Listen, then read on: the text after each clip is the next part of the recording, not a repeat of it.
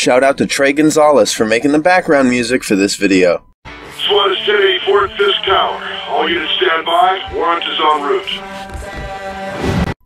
So let's really be honest with ourselves. We're all tired of replaying Spider Man PS4. I think after the remaster came out, the best way Insomniac could ever make us buy this game a third time was to let the community do all the work. I mean, was really smart of them, honestly.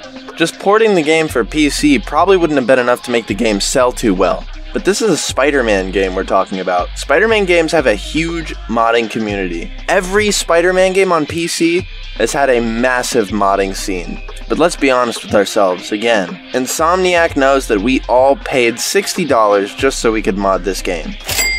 And I personally think the modding community has done an excellent job breathing new life into this game. And today, I'm just going to show you some of the mods I've installed and collected in no particular order, and maybe bring you around on buying your own copy of Spider-Man PC so you can mod the game yourself. It's a lot easier than you might think. And let's start with a personal favorite of mine, the Universal Spider-Man suit mod. This suit is based off of the costume the Spider-Man performers used to wear at Universal Studios. I really enjoyed this mod. It looks like an incredibly charming Spider-Man outfit due to its friendlier eyes and more simplistic logos, and I love how realistic the seam work on this costume is. It's something that itches the costume maker in my brain. The colors are really nice in every lighting scenario I've seen it in, and honestly, I think this is the best the Universal Spider-Man suit has ever looked. I don't know what it is, but I was never really down with the hype for this suit when it was really popular. Something about the way some of these costumes look is really wacky. Previously, I thought that having a Spider-Man suit and Spider-Man PC based off the style of an old Spider-Man cartoon would be something I wouldn't really care for, but honestly, this next mod kind of sold me. The Spectacular Spider-Man Suit mod is one that does a spectacular, pun not intended, job of emulating the anatomy and style of the show it's based off of. And if it's your thing, the creator of this mod made variants of this model so that you can play as the symbiote Spectacular Spider-Man. I didn't download it myself because I'm not the biggest fan of these black suits, but you can download this mod if you want, and all the mods shown in this video in the link in the description. The Edge of Time suit mod is one I'm just going to straight up skip writing an intro for simply because this costume does not need it. This is one of my favorite iterations of the classic suit.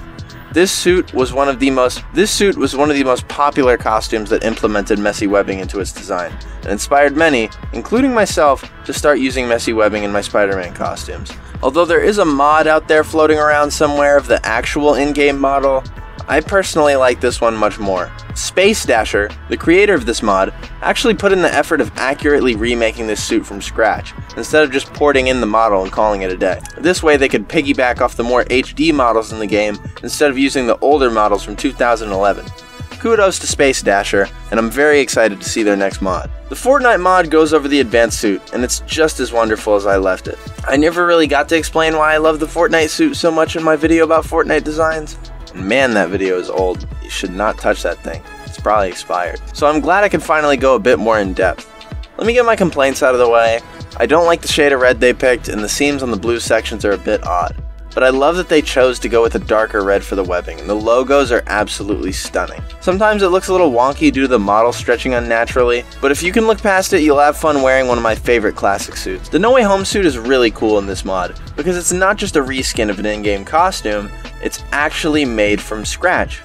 This model was made by Ugo9P1 on Instagram. After seeing the No Way Home extended cut, I've warmed up much more to this suit. I enjoy it much more than I did since my first viewing.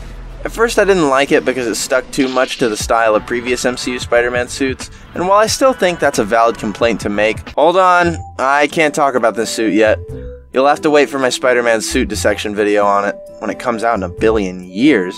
Because before that suit, we have to cover the Stark suit and the Iron Spider and skip all the other MCU suits because they aren't direct adaptations. Not to mention we had to delay the Homecoming one because we were going to get the Lotus suit. And come on, you guys you guys wanted me to get the Lotus suit. Come on. This is what some people call the best Spider-Man game of all time. Yet there's no black suit in the alternate costumes menu? Oh, never mind.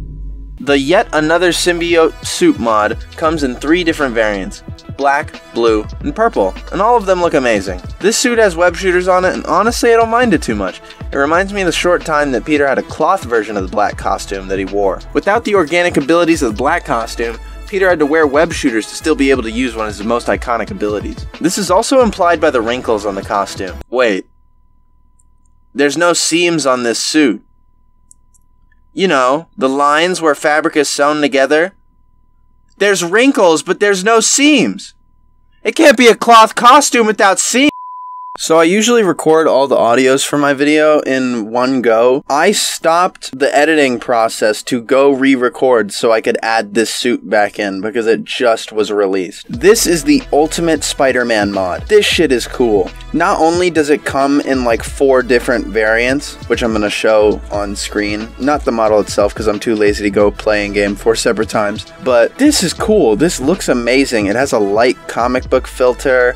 The fabric is textured. The eyes look great. The web pattern is a little weird in certain areas of the costume, like in the center of the mask and on some of the body parts. But other than that, this is amazing. Like, this is a perfect replication of some of Bagley's work. And this is definitely one of the mods I recommend downloading. I believe it goes over, like, the Secret Wars suit. So this is like an easy mod to just pop in and replace with, like, a suit probably nobody wears.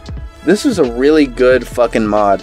And at the end of the day, when you guys go to install some of these, I hope this is in your picks. So ending off this video, I bring to you a mod that has not been released to the public yet, the MTV Spider-Man suit.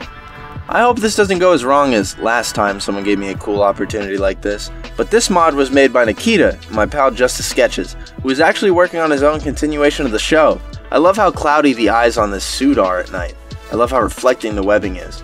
I'm sure it'll look even cooler upon release. There are honestly so many more mods I could show you guys, but I wanted to cut myself a small break and give you guys a shorter but intriguing video. All of the mods that have been shown that are currently released can be found in the description below, and modding this game is incredibly easy. There are countless tutorials online I'm sure you can find, and if you want to do it, you can get it done within an hour. I'm also having my own mod made by Jussie, aka Justice Sketches mentioned earlier, so keep your eyes peeled on the community tab of my channel and you'll probably see it there at some point. This was probably Spider-Man with 60 less dollars out of my pocket because Insomniac wouldn't send me a review code.